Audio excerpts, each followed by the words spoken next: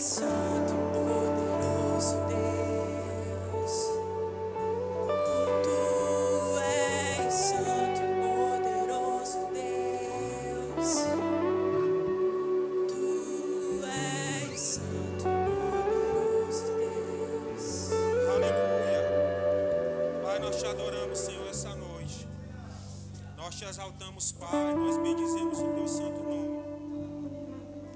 Nos reunimos como igreja com o propósito de te adorar, de te glorificar, de dizer o quão bom o Senhor é para as nossas vidas. Nós bendizemos, Pai, o teu nome porque nós acreditamos que nós fomos redimidos da maldição da lei. O Senhor, Pai, nos resgatou do império das trevas, nos colocou assentados juntamente com o Senhor nas regiões celestiais, no qual nós tomamos posse de todas as bênçãos que o Senhor prometeu ao nosso pai Abraão. Nós acreditamos, Senhor, que nós temos uma vida de prosperidade aqui nessa terra. Nós tomamos posse pela nossa fé, Senhor, essa noite, de tudo aquilo que é nosso por direito. E nós repreendemos, Pai, qualquer ação do inimigo. Nós dizemos a Satanás: Nós te repreendemos no nome de Jesus, todos os teus feitos das nossas vidas. Nós bendizemos, Pai, o Senhor e declaramos que o Senhor tem sido um Pai bom para nós. Grandes coisas tem feito o Senhor por nós e nós cremos que coisas maiores e novas o Senhor fará. No nome de Jesus. No nome de Jesus. Amém? Glória a Deus. Boa noite, queridos. Senta um pouco. Graça e paz. Amém? Glória a Deus. Queridos, no momento do louvor, eu estava ali querendo me conter, mas as lágrimas não teve como eu segurar. Porque o diabo ele é especialista de querer nos lembrar onde nós estávamos. Mas quanto aqui sabem que Deus também ele é especialista de nos lembrar pela sua palavra aquilo que ele nos prometeu. A vontade de Deus, queridos, é boa, agradável e perfeita, e não é o diabo a- nos relembrando do nosso passado que vai nos roubar e nos tirar se nós estivermos firmados na palavra de tudo aquilo que ele prometeu para nós. É inevitável os pensamentos vir, mas nós podemos repreender pela palavra. Amém? Num momento de louvor como esse, é um momento propício para nós nos lembrarmos de tudo aquilo que Deus nos prometeu na Sua palavra e de reivindicarmos nele aquilo que é nosso por direito. Amém? Deus nos deu a Sua palavra para nos, no- nos nortear. E a Sua palavra está cheia de bênçãos para nós. Eu, eu fiquei muito impactado com tudo isso, porque o inimigo ele é tão sujo que ele estava me lembrando quantas quintas-feiras eu passei por aí meio que alheio. Mas Deus me mostrou quantas quintas poderosas como essa Ele tem para as nossas vidas. Amém? Essa é a nossa quinta do poder. Nós temos recebido uma série de ministrações do Rema que tem impactado as nossas vidas. E eu creio que hoje não vai ser diferente. Amém? Então prepara o teu coração, eleva o teu nível de expectativa, porque eu creio que grandes coisas fará o Senhor em nossas vidas essa noite. Amém? E por falar em Rema, o Rema está com 10% de desconto. Você que não pegou as promoções que antes tinha no Rema, é a sua grande oportunidade de aproveitar os 10% de desconto que o Rema está oferecendo hoje. Olha que legal. Se eu fosse você, eu não perderia a oportunidade. O Rema é o maior centro de treinamento bíblico do mundo. O Rema ele já formou mais de 80 mil alunos. Olha só. Olha o tamanho dessa escola. Na minha vida não foi diferente. Eu posso dizer para você com toda convicção que o Rema ele mudou a minha vida. E você, se fizer sua matrícula e cursar os dois anos que o Rema tem para te oferecer, você também vai fazer parte do time que diz, com toda convicção, de que o Rema ele mudou a minha vida. Amém? Então não perca essa oportunidade. São 10% de desconto. Eu já falei aqui em outra oportunidade. Por aí te tiram 10%. O Rema ele te dá 10%. Então não perca essa oportunidade. É bênção demais para as nossas vidas. Amém? Glória a Deus. Queridos, amanhã nós começaremos o nosso seminário de escatologia. Quem está. Eu já ia até perguntar se você estava feliz, mas já vi que já está. Queridos, eu tenho gerado uma grande expectativa no meu coração. Desde 2016, quando eu me converti, eu não perco nenhum seminário. Todos os seminários de escatologia, eu faço parte do seminário também. Cursei escatologia no Rema. E eu digo uma coisa para você: nunca é demais para as nossas vidas um aprendizado como esse. Então, você que é graduado, você é intimado, você é convocado a vir e trazer um convidado junto com você. Essa semana eu tive uma grande oportunidade de conversar com alguém que perdeu um ente querido seu. E essa pessoa estava me perguntando o que é que essa pessoa estava fazendo se ela partiu em Cristo. E aí eu aproveitei e fiz o convite para ela. Se você quiser saber dessa resposta, você está convidado aí para o seminário de escatologia que começará na sexta-feira. Ela já pediu a localização da igreja e eu creio que ela vai vir, amém? Alguns religiosos podem pensar assim, mas não era um momento oportuno você falar sobre isso. Queridos, a palavra de Deus diz: prega a palavra em tempo e fora de tempo. Estava falando da palavra de Deus porque o rema é a palavra de Deus revelada. Amém? Então, o seminário de escatologia vai ser uma grande bênção. Nós teremos aqui presente conosco o nosso maior professor de escatologia, que eu já conheci, eu não sei você, nosso querido pastor Fábio Henrique. Eu queria que você gerasse essa expectativa, orasse por esse grande momento, porque eu creio que será um divisor de água na vida de muitas pessoas. Amém? Então venha, traga convidados junto com você. Acontecerá, começará amanhã e acontecerá na sexta que é amanhã, sábado, e no domingo também. Eu creio que será uma grande bênção, como foi em tantas outras vezes. Dessa vez não será diferente. Amém? Você vai vir? Eu lanço um desafio aqui para você trazer um convidado junto com você. Pelo menos dois. Amém? Você topa o desafio? Amém. Glória a Deus. Próximo final de semana, do dia 10 ao dia 12 de fevereiro, nós teremos o aniversário da nossa igreja. Você se alegra com isso? Nossa igreja está fazendo 17 anos, querido, 17 anos de história. Tem revolucionado essa cidade. Eu creio que alcançará o nosso estado e a nossa nação também. Muitos falam por aí que Teresina é uma cidade muito ruim, mas nós cremos que aqui é um celeiro de bênçãos para esse estado, para outros estados, para o nosso Brasil, consequentemente também para as nações. Amém? Eu creio que chegará um tempo que Teresina se transforma, transformará num monopólio, no qual será referência para a nossa nação, de grandes empresas e indústrias sendo criadas aqui nesse lugar. Amém? E você pode ter certeza que partirá do nosso projeto, partirá dessa igreja a visão que alcançará o Estado, alcançará a nossa nação e vai transformar Teresina numa cidade conhecida como Teresina que prega a palavra da fé e que tem grandes empreendedores. Amém? Você crê assim? Glória a Deus. Então venha, traga convidados também junto com você e será uma grande bênção. Eu quero lembrar aqui, voltando aqui para o seminário, eu esqueci de falar, é completamente aberto ao público, você não paga nada. Um seminário como esse era para custar no mínimo de 10 a 15 mil reais, no mínimo, mas é de graça. E você que está em casa também, você é nosso convidado, tá? Você é nosso convocado, venha, traga convidados junto com você, é aberto ao público, você não pagará nada, e eu creio que será uma grande bênção. Amém. Glória a Deus. Onde estão nossos visitantes? As pessoas que nos visitam hoje pela primeira vez. Se você é a primeira vez que você a essa igreja, faz um sinal com a tua mão para que nós podemos te conhecer melhor. Temos visitantes hoje? Amém? Culto caseiro? Glória a Deus. Culto caseiro. Glória a Deus. Vamos falar de dízimos e ofertas? Glória a Deus. Abre a tua Bíblia aí rapidamente, lá no livro de Marcos 12, 41. Essa é uma passagem bastante conhecida. A oferta da viuvinha pobre. Amém. Já abriu sua Bíblia? Amém. Marcos 12, 41 diz: Estando Jesus assentado de frente da arca do tesouro, ou do gasofilaço, observa a maneira como a multidão lançava o dinheiro na arca do tesouro, e muitos ricos depositavam muito. Vindo, porém, uma pobre viúva depositou duas pequenas moedas, que lhe valiam cinco réis. Chamando seus discípulos, disse: Em verdade vos digo que esta pobre viúva depositou mais do que todos os que depositaram na arca do tesouro, porque todos ali depositaram o que lhe sobejavam, mas esta da sua pobreza depositou tudo que tinha, todo o seu sustento. Amém? Nós vimos aqui, queridos, essa passagem sobre algo muito importante que eu gostaria de enfatizar nesse momento para você, sobre a forma com que Deus usou essa viúva.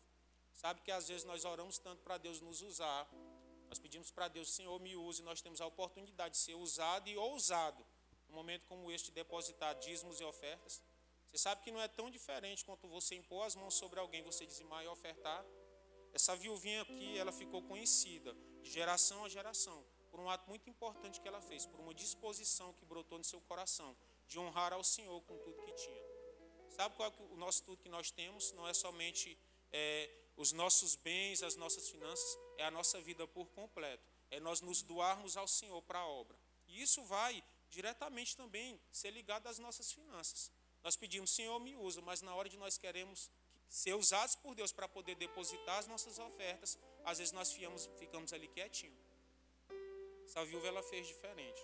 Ela fez muito além do que aquilo que estavam fazendo naquele momento. Porque estavam falando, é, estavam depositando algo que somente daquilo que eles sobejavam. Ela não, ela porém depositou tudo que tinha. Dizimar e ofertar, queridos, é algo que está disposto no nosso coração, proposto por Deus. Dizimar, nós sabemos que é 10%. E a nossa oferta não, ela não está ligada somente aos 10%. Está ligada a um percentual. Eu anotei algo aqui muito importante eu queria compartilhar com vocês e disse assim: ofertar não está relacionado somente a uma condição financeira, está relacionado a um percentual, ou seja, sobre o que Deus propõe no nosso coração. Eu creio que é por isso que a viuvinha pobre, ela foi reconhecida por Jesus naquele momento tão importante de dizimar e ofertar. Nós temos a grande oportunidade de fazer algo aqui é sobrenatural, que é dizimar e depositar as nossas ofertas aqui no gasofilaço. Amém? Me lembro de uma passagem bíblica que fala também sobre o ato de honrar o Senhor, né, com os nossos bens e as primícias de toda a nossa renda.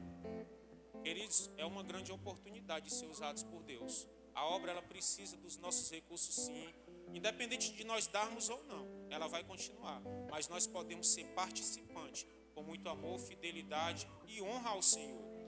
Amém? Mediante essa palavra, com esse entendimento, eu queria que você separasse uma oferta generosa e ousada ao Senhor. Amém? Separa o teu dízimo aí, você que vai dizimar, separa a tua oferta, você que vai ofertar ao Senhor, você que quer fazer isso por meio de dinheiro em espécie. Aí à sua frente tem um envelope, você pode estar fazendo isso por meio de dinheiro em espécie. Se você quer fazer por meio de cartão de crédito ou débito, lá atrás temos as nossas tesoureiras. Você pode estar fazendo isso também por meio de cartão de crédito ou débito. Se você quiser fazer por meio do seu aplicativo, usando a nossa chave Pix, aqui no nosso telão nós temos a nossa chave Pix e também é, no envelope tem a nossa chave Pix. Você que está em casa também está participando do culto, pode participar desse momento usando a nossa chave Pix e o código QR Code que está aparecendo aí no seu aparelho eletrônico. O que não, nós não podemos é deixar de participar desse momento tão importante de ser usados por Deus, no quanto ao dizimar e a ofertar também. Você crê assim? Já separou sua oferta? Amém? Vamos orar? Pai, nós te rendemos graças, Senhor, por esse tempo tão importante, Pai, de dizimar e de ofertar. É com muita alegria, Pai, no nosso coração que nós fazemos tudo isso, não é por tristeza nem por pesar, mas é com muita alegria e honra ao Senhor. Nós, Pai, separamos os nossos dízimos, as nossas ofertas, e nós consagramos ao Senhor, no nome de Jesus. E eu quero declarar, Pai, sobre a vida dos meus irmãos, que eles escolherão bênçãos sem medidas, que eles não vão conseguir nem sustentar todas essas bênçãos que vão alcançar a vida de todas as pessoas que estão ao redor deles, no nome do Senhor Jesus. Quem crê diz amém. Sai do teu lugar com alegria, vem dizimar Eu ao vejo a Senhor. chuva regando minha semente. É o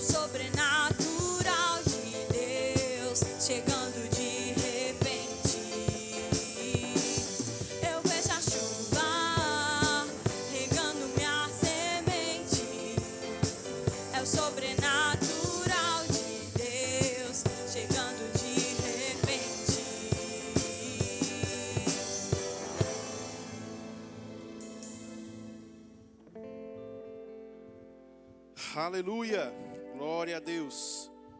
Pai, nós te rendemos graças por essa noite. Obrigado pelo privilégio de estarmos aqui reunidos, Pai, para escutar da tua palavra, para aprender cada vez mais, para possamos crescer e avançar cada vez mais no Senhor. Nós abrimos nossa mente, o nosso coração e estamos abertos para receber tudo o que o Senhor tem para nós hoje, em o nome de Jesus. Que nós possamos, Pai, receber e não somente conhecer, mas praticar tudo aquilo que receberemos essa noite, em o nome de Jesus. Quem crê diz amém. Glória a Deus. Hoje eu não vou esquecer de vocês. Podem descer. Muito obrigado. Hoje não tem verbo humor, né? Glória a Deus. Aleluia. Boa noite, graça e paz. Tudo bem com vocês? Que maravilha estarmos aqui reunidos, né, para prosseguir com a nossa quinta do poder. No mês de janeiro, eu, né, recebemos quatro ministrações, quatro matérias do Rema, e eu tenho certeza que você foi muito abençoado. Eu fui, e eu tenho certeza que você também. Então hoje nós vamos receber mais uma matéria do Rema e já deu para você experimentar, degustar um pouco do que você vai aprender no Rema. Aqui você tem apenas 40 minutos né, da exposição à palavra é, de uma matéria. No Remo você vai ter sete dias, onde vai ser detalhado tudo aquilo que você escutou. Então, se você não, foi, não fez sua matrícula ainda, passa ali no nosso balcão de informações, na nossa secretaria, faça sua, sua matrícula, que eu tenho certeza que você será grandemente abençoado e a sua vida irá mudar. Assim como mudou a minha, assim como mudou de milhares de pessoas, com a sua não será diferente. Amém? Então fique ligado, né? Vamos hoje estar trazendo uma palavra do Senhor, uma matéria. E a matéria que nós vamos falar hoje será a matéria o fruto do Espírito. Você se alegra com isso? Muitos com certeza já conhecem, muitos já sabem, mas tem alguns outros que ainda ficam querendo saber o que, que seria isso, o que, que seria esse fruto que nós devemos manifestar. E essa matéria, mas nós vamos aprender que uma vez nós estamos enxertados em Cristo, uma vez que nós recebemos o Senhor como nosso ser único e suficiente Salvador, nós devemos manifestar esse fruto. Você também vai conhecer nessa matéria o que é o fruto do Espírito, as suas manifestações, o que você precisa fazer para que isso venha se manifestar e venha aparecer em sua vida. Amém? Então hoje fique ligado, tenho certeza que Deus vai falar muito com você, assim como ele falou comigo. Então, para iniciar, queria convidar você a abrir a sua Bíblia lá em Gálatas, no capítulo 5, no versículo 22.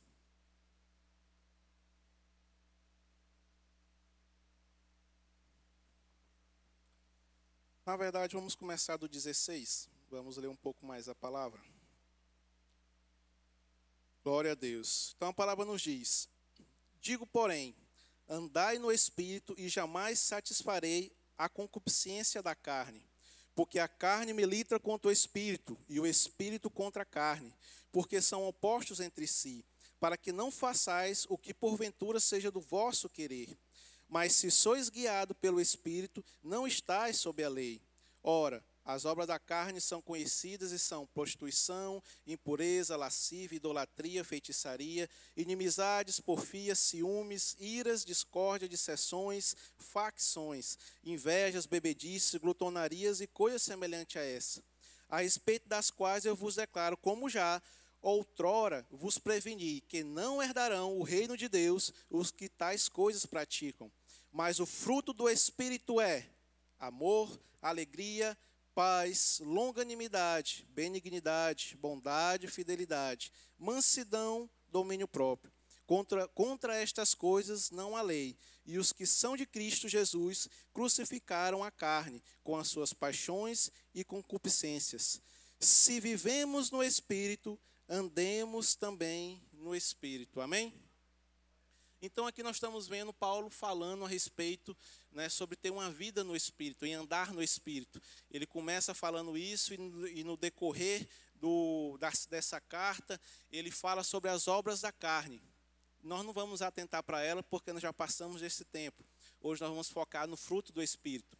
E depois ele começa falando a partir do versículo 22 o que é o fruto do Espírito.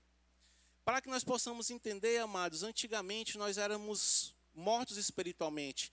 Lá em Efésios, no capítulo 2, ele diz que nós éramos mortos espiritualmente nos nossos delitos e pecado, que nós andávamos antes. Ou seja, como nós não tínhamos a nossa natureza definida, como nós não tínhamos ainda é, encontrado Jesus, nós produziríamos coisas naturais, que são as obras da carne. Então isso foi no nosso antigo, no nosso antigo homem, na nossa antiga vida.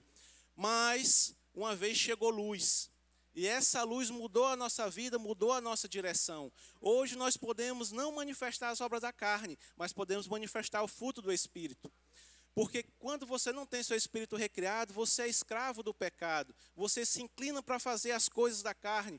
O pastor Fábio, ele falou muito bem na administração de domingo, que se você chegar para uma pessoa que não é nascida de novo e falar para ela, pare de beber, pare de fumar, pare de se prostituir, ela não vai conseguir. Por quê? Porque ela está inclinada para as coisas do espírito, ela não tem o poder, não tem o espírito recriado para resistir a essas coisas mas graças a Deus que o Senhor chegou luz em nossas vidas, que o Senhor nos resgatou do império das trevas, nos colocou no reino do Filho do seu amor, recriou o nosso espírito. Lá em Efésios, no capítulo 2, no versículo 4, ele diz que ele nos amou de tal maneira que nos deu vida, nos deu vida, nos trouxe da morte para a vida. Ou seja, nosso espírito foi recriado e nós temos uma comunhão, temos uma conexão agora com o Senhor. E devido isso ter acontecido em nossas vidas, nós estamos habilitados a andar no Espírito e, consequentemente, manifestar o fruto do Espírito. Amém? Eu não sei se você se alegra com isso, mas isso, amados, é o ápice da nossa vida. Porque nós estávamos fadados ao fracasso, fadados a ser escravo do pecado, mas nós somos libertos, estamos em Cristo Jesus e podemos ter uma vida abundante que Ele preparou para nós. Para que nós possamos aprender sobre isso, você que irá fazer o rema, vai ter uma matéria chamada Realidades da Nova Criação, que irá detalhar, irá falar com você a respeito de tudo isso que aconteceu no seu espírito. Mas, para nós hoje, nós queremos apenas pincelar para que você entenda o que aconteceu dentro de você. Seu espírito foi recriado, você está apto, você está habilitado a andar no espírito. E o Senhor espera, tem uma expectativa que você atinja isso e que manifeste o fruto que já está dentro de você, devido à nova natureza do Senhor que está habitando, que está passando, que está vivificando o seu espírito. Então, o fruto do Espírito é isso: é nós frutificarmos aquela natureza, aquilo que o Senhor colocou em nossos corações. É isso que nós devemos fazer. Andar no Espírito e frutificar, e dar frutos, e evidenciar aquilo que aconteceu em nossa vida. E aí nós ficamos perguntando, certo, eu tenho que falar sobre o fruto, mas o que seria o fruto do Espírito? O fruto do Espírito nada mais é do que você evidenciar visivelmente através da sua vida o poder invisível que está atuando dentro de você, a natureza divina que está dentro de você. É você evidenciar isso para que as pessoas possam ver que realmente você faz parte, está em Cristo e que você evidencia aquilo que Ele colocou em você. Então, o fruto do Espírito é isso, amados. É algo visível que você externa, que você deixa as pessoas verem do poder do Espírito Santo que está habitando dentro de você, a natureza de Deus que faz com que você seja essa bênção que você é. Esse é o fruto do Espírito. Aleluia. E aí você fica pensando, certo? Eu posso fazer isso? Pode, amados. O Espírito Santo, ele não está dentro de você para pegar uma carona. Ele está dentro de você para lhe inspirar, para lhe ajudar a você fazer e ter uma vida que o Senhor quer que nós estejamos, que nós vivemos. Deus, o Espírito Santo, ele está aí para ser um ajudador, para ser aquele que irá nos fortalecer, que irá nos guiar, que irá nos direcionar contra o pecado, contra a injustiça e vai nos mostrar a vida que o Senhor preparou para nós. Então, o Espírito Santo não está aí só de bibelô, ele está aí atuando, fazendo algo na sua vida. E nós precisamos ter essa consciência que ele faz isso para nós. Mas não é porque o Espírito Santo né, está dentro de nós. Não é porque o Espírito Santo faz, essa, temos essa natureza, que a responsabilidade é somente dele fazer. Não, não, não. A responsabilidade de frutificarmos, de demonstrarmos esse fruto é nossa. E para que nós possamos entender isso, eu queria que você abrisse a sua Bíblia, lá em João, no capítulo 15, a partir do versículo 1 para que nós possamos entender essa nossa responsabilidade. Aleluia. Então, amados, o fruto do Espírito não é algo que nós iremos forçar para fazer, não é pela nossa força humana, mas é por aquilo que está dentro de nós, é a natureza de Deus que é evidenciada em nossas vidas, porque nós seguimos ao Senhor, temos nosso espírito recriado e nós possamos demonstrar, podemos demonstrar isso através da nossa vida. Amém? Então, todos abriram lá em João capítulo 15, no versículo 1. A palavra nos diz: Eu sou a videira verdadeira, e meu Pai é o agricultor. Todo ramo que estando em mim não der fruto, ele o corta, e todos que dá fruto, limpa, para que produzam mais fruto ainda. Vós já estáis limpos pela palavra que vos tenho falado. Permanecei em mim, e, e eu permanecerei em vós. Como não pode o ramo produzir fruto de si mesmo, se não permanecer na videira, assim nem vós os podeis dar, se não permanecerdes em mim. Eu sou a videira, vós os ramos. Quem permanece em mim e eu nele, esse dá muito fruto, porque sem mim nada podeis fazer. Então aqui nós vemos que o Senhor ele está trazendo uma analogia do crente ser uma árvore. Assim como ele fala também lá em Salmos, no capítulo 1, no versículo 3, ele, nós também somos comparados a uma árvore. Ele diz que nós somos a árvore plantada junto ao ribeiro, que ao seu tempo ela vai dar fruto que as folhas não vão murchar, mas vão florescer. Isso somos nós hoje em Cristo Jesus. Nós estamos plantados junto ao ribeiro, florescendo, frutificando. É isso que o Senhor nos criou para sermos. Amém? E aqui ele está falando justamente sobre isso, colocando de nós, nós como sendo uma árvore. E ele fala que ele é a videira e que nós somos os ramos. E qual é a função de uma árvore, amados? A função de uma árvore é dar fruto. Nós vemos isso porque no versículo 2 ele diz que se ela não der fruto, ele vai cortar e jogar ela fora. Então isso significa que o Senhor tem uma expectativa que nós frutifiquemos, que nós demos fruto, que isso seja evidenciado em nossas vidas. Então, o Senhor, ele é a videira, nós estamos enxertados, estamos colocados nele.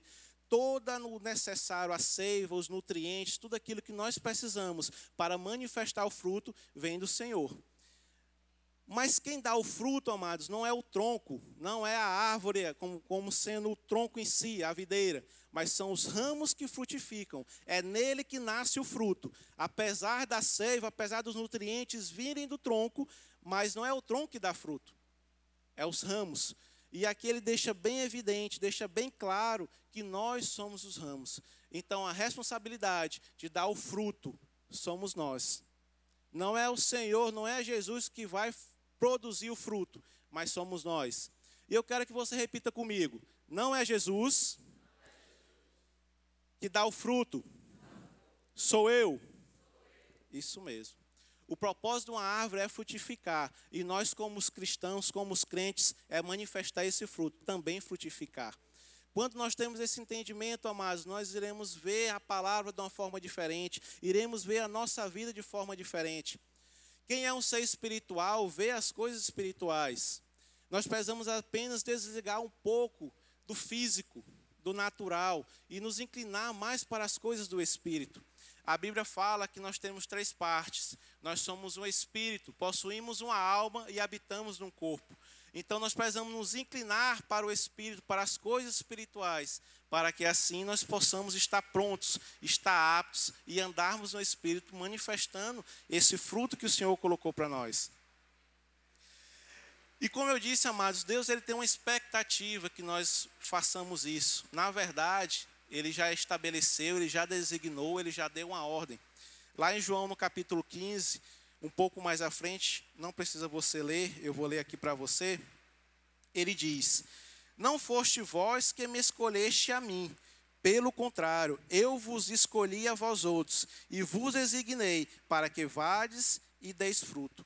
Então, amados, ele está esperando que nós sigamos e cumpramos essa ordem que ele estabeleceu. Ele nos designou, ele nos deu, nos estabeleceu e ordenou para que nós possamos ir e dar fruto. Agora eu pergunto, nós estamos fazendo isso? Não levante sua mão, responda apenas para você.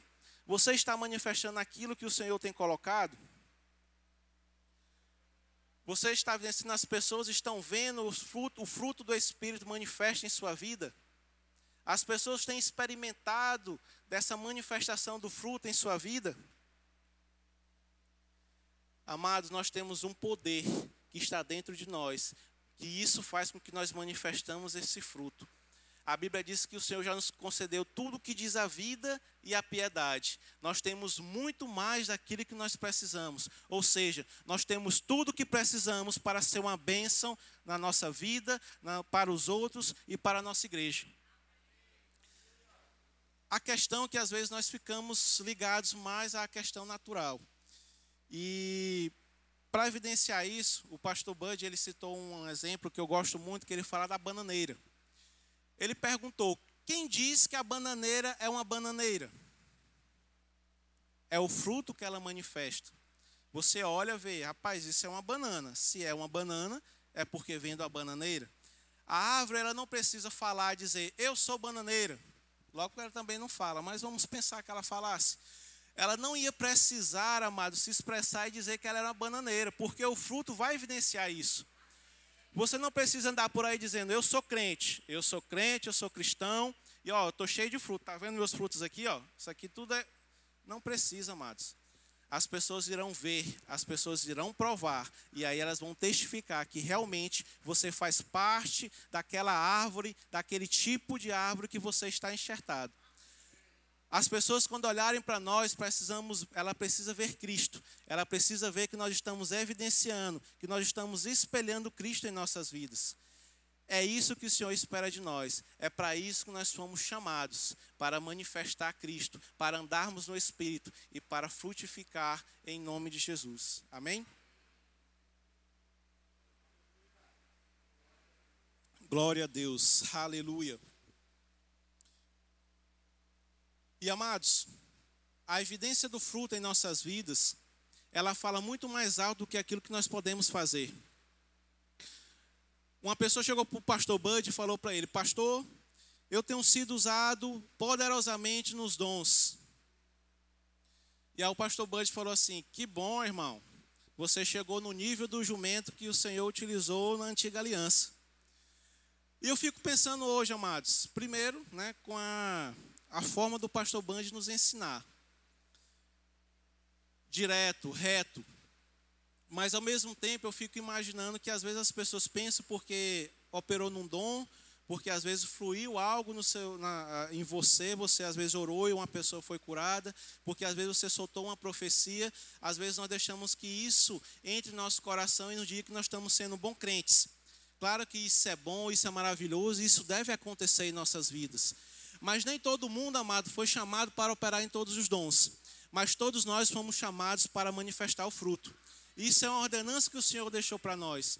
Então, amados, você não vai ser medido a sua espiritualidade pelas habilidades, pelos dons que manifestem em sua vida, mas você será dito como espiritual pelo fruto, pelo tipo de fruto que está sendo manifesto em sua vida. É isso que nós devemos nos preocupar, é isso que nós devemos buscar em nossa vida, manifestar o fruto, para que isso evidencie a vida que nós estamos levando. Claro que nós podemos buscar o dom e a palavra diz que nós devemos buscar com zelo os melhores dons. Mas nós precisamos também buscar uma vida de santidade, de andar no Espírito e frutificando no Senhor. Aleluia, glória a Deus. O Senhor é bom. Então, amados, Deus ele espera que nós produzamos fruto. Essa é a vontade dele. É a vontade que ele tem que nós andarmos no Espírito. Nós lemos aqui em Gálatas que nos informa que se nós andarmos no Espírito, nós não iremos satisfazer a concupiscência da carne. Ou seja, nós não vamos produzir as obras da carne. Mas para que isso aconteça, nós precisamos estar buscando uma santidade, andar no Espírito. Andar no Espírito é a mesma coisa que frutificar, é a mesma coisa que reclinar para as coisas do Espírito e abominar as obras da carne. Mas que nós possamos fazer isso, nós precisamos estar com o nosso espírito forte, precisamos treinar o nosso espírito conforme o irmão Regner fala. Ele diz que nós precisamos entender que tudo aquilo que nós alimentamos nossa carne deixa o nosso espírito faminto. Ou seja, ou você alimenta seu espírito, ou você está alimentando sua carne. E quem vai vencer isso na sua vida é aquele que estiver melhor alimentado. Então, se você está inclinando para as coisas da, da, carne, amados, você pode ter certeza que você vai produzir as obras da carne, vai produzir o natural. Mas se você se inclinar para as coisas do Espírito, você vai manifestar essa vida, esse poder que está dentro de você e manifestar as coisas espirituais que o Senhor espera que você e que eu nós possamos manifestar isso e ser uma bênção para o reino, uma bênção para o nosso irmão. E como nós fazemos isso, amados? O irmão Regner ele fala muito sobre essa questão de treinar o espírito, né? de, de se dedicar realmente, se inclinar às coisas espirituais. E a primeira coisa que ele fala é que nós devemos meditar na palavra. Lá em Josué, no capítulo 1, no versículo 8, a palavra nos diz que se nós meditarmos nela de dia e de noite, se nós fizermos tudo aquilo que está escrito nela, ele diz que nós seremos um sucesso, que nós iremos prosperar e que nós, tudo irá bem em nossas vidas. Então a palavra, amados, é algo que nós precisamos nos alimentar todos os dias. Eu sei que é falado muito que você acorda pela manhã e você alimenta seu homem natural, seu homem aqui, seu corpo, e que café, que alimento você está dando para o seu espírito. Às vezes nós escutamos isso demais e não, não, não paramos, nos atentamos para que isso realmente está acontecendo em nossas vidas. Nós precisamos ter um tempo de meditar, alimentar o nosso espírito, ler a palavra, palavra meditar na palavra, para que nós possamos, nesse todas as vezes que chegarem pessoas para nós, toda vez que chegar alguma situação, nós possamos espremer, nos espremer e a palavra sair. Para que uma pessoa chegue com alguma situação, você seja um socorro bem presente naquele momento. Não falando o que você acha, nem o que você pensa, mas o que a palavra diz. E se você vai conseguir fazer isso, amado, se você estiver cheio da palavra, se você estiver cheio das, da palavra de Deus, para que você possa ensinar. Como você vai ensinar uma coisa que você não sabe? Então, meditação na palavra é algo fundamental para que o nosso espírito possa estar forte, para que o nosso espírito possa estar pleno, para manifestarmos o fruto. Uma vida de oração, amados, vida de oração, isso é uma prática espiritual que nos faz amadurecer, que nos faz crescer. É uma comunhão, é uma forma de você conversar com seu pai. Se você não está conversando com seu pai, você vai conversar com quem? Com seu amigo? Vai pegar informações aonde? Direções aonde? Nós temos um Pai que espera todos os dias de nós termos um relacionamento, uma comunhão com Ele. E a oração, esse é o caminho. Isso sem falar nas orações em outras línguas, que é uma forma de nos edificar, de nos fortalecer, nos deixar sensível para receber direções do Senhor. Quando você ora em língua, amado, você está se recarregando. Você deixa seu espírito mais sensível das coisas espirituais. É uma arma poderosa que poucos crentes têm utilizado mas é uma arma fatal para quem quer destruir as obras do diabo. Então nós precisamos ter esse momento de oração, ter esse tempo, uma vida de oração. Outra coisa que muitos crentes já se esqueceram, o jejum. E Morregni fala que o jejum, amados, ele não vai mudar Deus, ele vai ser o mesmo antes, durante e depois do jejum. Mas o jejum irá mudar você. Ele vai deixar você sensível, ele vai modificar sua carne, vai deixar você pleno, vai ser um amplificador de sinal espiritual. Você vai estar mais sensível para receber as direções, para receber as coisas do seu espírito. Então, o jejum faz parte de uma prática espiritual muito importante para a vida do crente. Congregar, o que você está fazendo, o que eu faço, o que você faz. Isso são, é vida para nós, amados, congregar. Quando nós estamos congregando, nós estamos aqui no meio de unções coletivas. O pastor William tem uma unção, o Rodrigo tem outra unção, o Josué tem outra unção, e quando nós estamos juntos congregando, nós estamos recebendo disso. É aqui que a palavra é exposta para nós, é aqui onde nós somos confrontados com áreas de nossa vida que às vezes nós não sabíamos que estávamos deficientes. E aqui você recebe uma palavra que vai lhe direcionar para que você possa arrumar e correr a carreira que Deus tem para você. E sem falar que o congregar, amados, é um melhor local para você manifestar o fruto do Espírito. Mais um pouco à frente nós vamos falar sobre isso, mas o congregar é importante. Servir. Servir, amados, nós somos chamados para servir. Lá em Romanos ele diz que nós temos que ser fervorosos. Fervoroso é pular, correr, babar, cair no chão? É também, pode ser. Mas a Bíblia fala em Romanos que ser fervoroso é servir ao Senhor. Sede fervoroso, servindo ao Senhor. Então, servir é um termômetro para ver como sua vida espiritual está. Se você não está servindo, se você não está com vontade de servir, tem um sinal vermelho aí para você. Fique ligado, sua bateria está acabando. Então, se ajeite, se arrume, se equilibre Ajuste seu coração para que você também possa correr a carreira que Deus tem preparado para você. Amém? Então, essas são algumas práticas espirituais que o Senhor estabeleceu, que temos para que nós possamos nos fortalecer cada vez mais no espírito. Agora, a questão é que existe um esforço. Eu pergunto: você está pronto para fazer esse esforço pela sua vida, pelo Senhor? Você está pronto para pagar esse preço para manifestar o fruto que o Senhor tem colocado para você? Nós precisamos fazer isso, amados. A palavra também diz que nós, o homem, tem três tipos de pessoas. Tem o homem espiritual, o homem carnal e o homem natural. O natural é aquele que não conhece o Senhor, não tem vínculo com Ele, não conhece e vive a vida, os desejos, as paixões da carne. Existe o homem carnal, que é aquele que conheceu o Senhor, mas vive uma vida de derrota, uma vida afastada do Senhor, praticando também as obras da carne, sendo vencido pelas suas paixões e pelos seus desejos mas existe o homem espiritual, amados.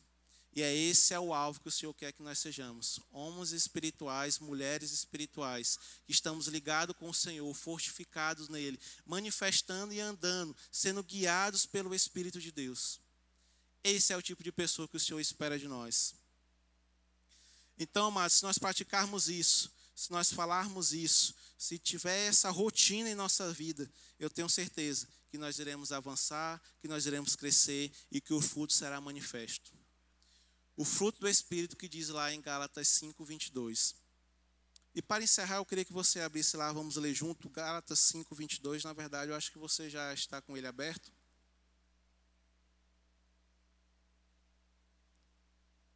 E eu trouxe algo aqui para marcar, vocês vão lembrar.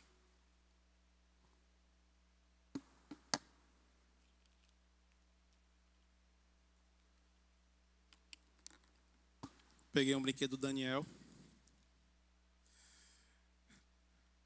Amados, lá em Gálatas 5:22, ele diz que o fruto do espírito é. O fruto, amados, é no singular, não é no plural. Então, o fruto do espírito é algo que vem do espírito. E esse fruto, ele tem algumas manifestações, que são essas que estão citadas em Gálatas 5:22. Eu queria que você acompanhasse comigo ele diz: Deixa eu puxar aqui que eu abri para outro lado. Mas o fruto do Espírito é amor, alegria, paz, longanimidade, benignidade, bondade, fidelidade, mansidão, domínio próprio. Contra estas coisas não há lei. Então, o fruto do Espírito, amados, é o conjunto dessas manifestações. Quando você olha, você vê apenas um, mas eles juntos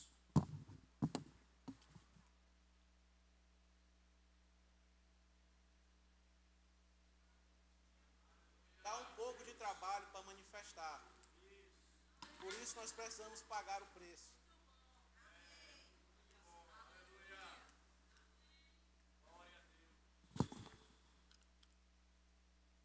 Mas o Daniel ele está melhor do que eu.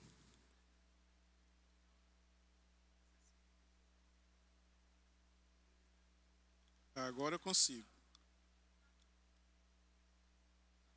Você vai precisar colocar esforço, você vai precisar dedicar tempo para fazer isso. Mas depois que você pega o jeito, você consegue produzir o fruto. Então você já sabe, o fruto do Espírito é esse. Se eu tirar o amor, se eu tirar a paz, ele não é o fruto. Então que nós possamos entender, amados, é isso que o Senhor quer, que nós manifestamos o fruto do Espírito. Essas qualificações, essas manifestações em nossas vidas. É isso que o Senhor espera de nós, é a expectativa que Ele tem em nossas vidas. Que nós não possamos ser aquela árvore que os Jesus chega, olha, vê a árvore cheia de folhas, mas quando chega perto não tem fruto. Que não sejamos somente aparência, mas que nós manifestamos o fruto e que vamos responder ao Jesus aquilo que ele nos chamou para fazer. E dar fruto, para que nós possamos ser uma bênção e fazer o reino de Deus crescer. Lembre-se, o fruto você manifesta as pessoas veem e as pessoas provam, para você possa evidenciar realmente a vida de Cristo. Amém? Fica de pé. Aleluia. Pai, nós te rendemos graça, nós estamos aqui porque queremos, Pai, cada vez mais avançar e crescer no Senhor. Nós queremos, Pai, em nome de Jesus, manifestar o fruto conforme a tua palavra diz. Queremos cumprir aquilo que o Senhor colocou em nossas vidas. Nós te rendemos graça porque sabemos que tudo que nós precisamos, o Senhor já nos deu. Tudo que precisamos para manifestar, o Senhor fez chegar. E nós queremos, Pai, em nome de Jesus, ser essa árvore cheia de fruto, Pai, que possa contribuir para o teu reino, que possa contribuir para o crescimento do meu irmão, para que nós possamos, Pai, em nome de Jesus, realmente evidenciar aquilo que o Senhor está operando em nossas vidas. Que esse poder, Pai, que nos reveste por dentro, a tua natureza divina, seja manifesta em nossas vidas. É isso que nós queremos, é isso que nós desejamos. E nós te agradecemos, Pai, por tudo que o Senhor tem feito e pelo que o Senhor irá fazer. Pela tua graça, pela tua paciência, pela tua fidelidade sobre nossas vidas, nos capacitando a cada dia para que possamos crescer e chegar ao pleno conhecimento da tua palavra. Muito obrigado, Pai, por essa oportunidade. Muito obrigado pelo teu cuidado e muito obrigado pelo teu amor, que nos amou de, de tal maneira, de grande forma que temos o ponto de ser chamado teus filhos. Muito obrigado, Pai. É assim que nós oramos e te agradecemos em o nome de Jesus. Não poderia finalizar, amados, sem fazer um convite para você. Se você está aqui essa noite, você entendeu que para você manifestar o fruto, você precisa ter seu espírito recriado, você precisa ter uma aliança com o Senhor. E essa é uma oportunidade que você tem de estar fazendo essa aliança de estar tendo essa vida junto com, com o Senhor, manifestando tudo aquilo, não somente o fruto do Espírito, mas tomando posse de tudo aquilo que o Senhor conquistou para você. Então, se você está aqui essa noite e ainda não confessou o Senhor como o único Senhor e suficiente Salvador, vem aqui na frente. Essa é a sua oportunidade. Todos salvos? Aleluia. Se você também está afastado do caminho do Senhor, você já confessou o Senhor, mas por algum motivo você não permaneceu firme, você se afastou, se distanciou daquilo que o Senhor tem para a sua vida. Deus ele não está zangado com você, ele não quer saber por que você fez isso, e isso não interessa. Deus ele quer resgatar, quer ter uma comunhão novamente com você. Se você está aqui essa noite e deseja se reconciliar com o Senhor, vem aqui na frente. Eu quero orar por você, para que você possa voltar à casa do Pai, para que você possa estar firmado na palavra e manifestar aquilo que Ele tem proposto para você. Temos alguém? Aleluia. Tem alguém que ainda não foi batizado com o Espírito Santo? Com a evidência bíblica de falar em outras línguas e queria receber esse revestimento de poder?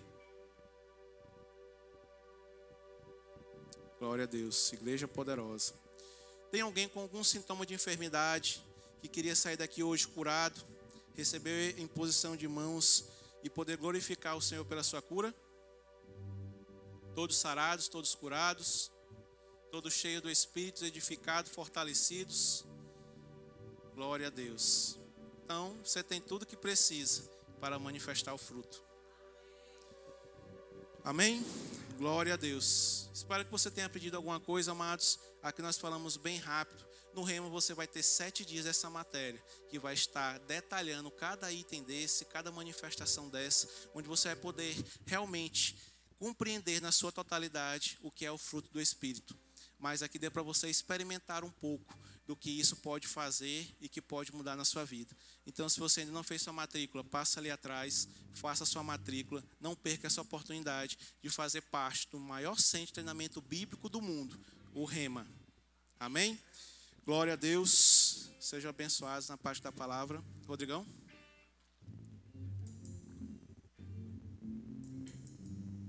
Glória a Deus. Bênção demais.